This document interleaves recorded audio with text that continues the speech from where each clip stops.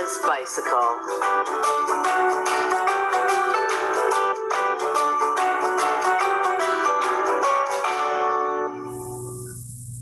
Amara was a girl with a dream. She had always wanted a bicycle. Not just any bicycle, though. Amara wanted the bright yellow six speed bicycle that she saw in the window of Las Bicicletas. Every day, she and her papa walked past that bicycle on their way to school. Every day, she would stop in front of the window. She'd reach her hand out, touch the window, and whispered, Un día, one day. Her papa would whisper back, Un dia.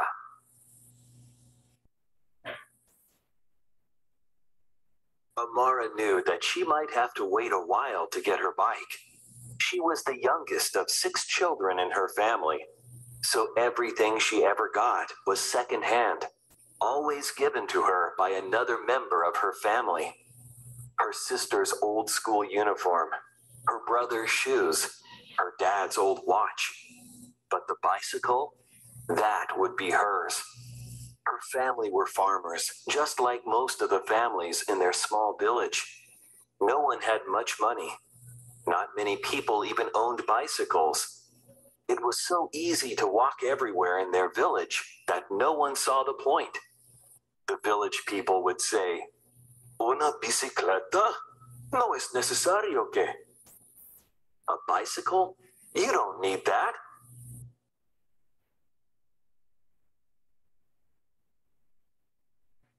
One day, she and her papa were walking to school, just like every other day. Amara stopped and looked at her bike in the window.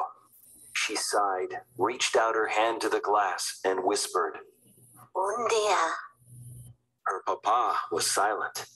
Papa, She asked. No, came the reply. No un día. Hoy.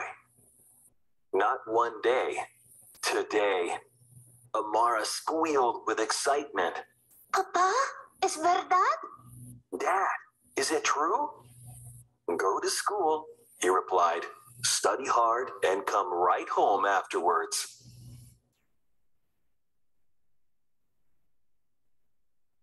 Amara tried hard to pay attention in school, but she was too excited. All of the children at her school would be envious of her new bicycle, she was sure. After school was over, she raced home as fast as her feet would move.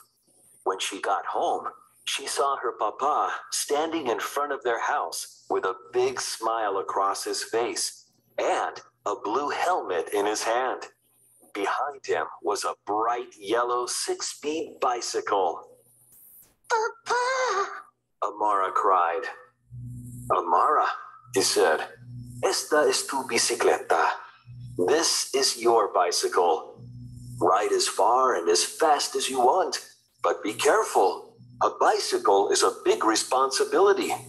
Be safe, try not to get hurt, and always wear your helmet. But Amara didn't listen very carefully to Papa's words. She was too excited. She grabbed her new helmet from her dad's hands. She hopped on her new bicycle and sped off, yelling, sí, papá, gracias. Yes, Dad, thank you. Amara raced away from their house. She loved her new bicycle. She could feel the cool wind rushing through her hair, blowing it behind her like the mane of a horse. She could feel her hands grip the handlebars, steering the bike left and right. She could feel the dips and bumps in the road, each one sending shockwaves through her bike. She felt free, happy, and thankful for her new bicycle.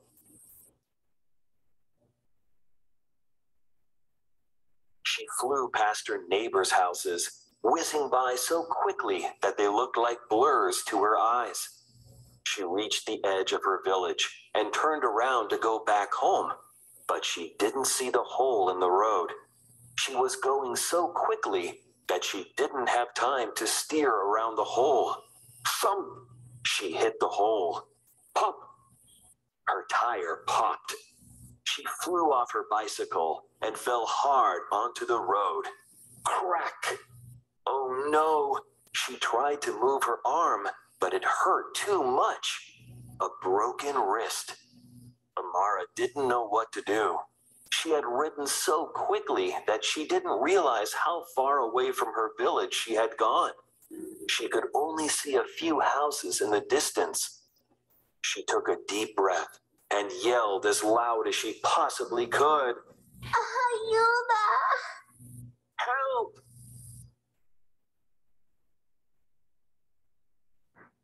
A woman came running out of the nearest house. As she reached Amara, she knelt down and asked, ¿Estás bien? Are you okay? I think you need to go to the hospital and we will need to call someone for you. Whom can I call? Mi papá. Amara said. Then she cried. The pain was almost unbearable. She felt ashamed that she had gotten hurt. She felt ashamed that she had not listened carefully to her papa. She felt ashamed that she had not ridden her new bicycle safely.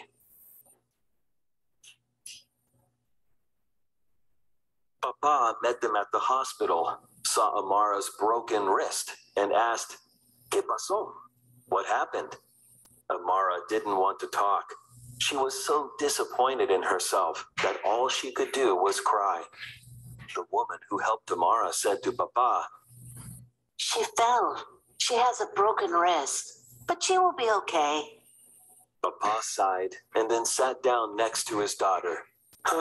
Mi hija. Uh, my daughter, he said, I know you are feeling sad. You must feel like you did everything wrong, but you did not. You did something very right.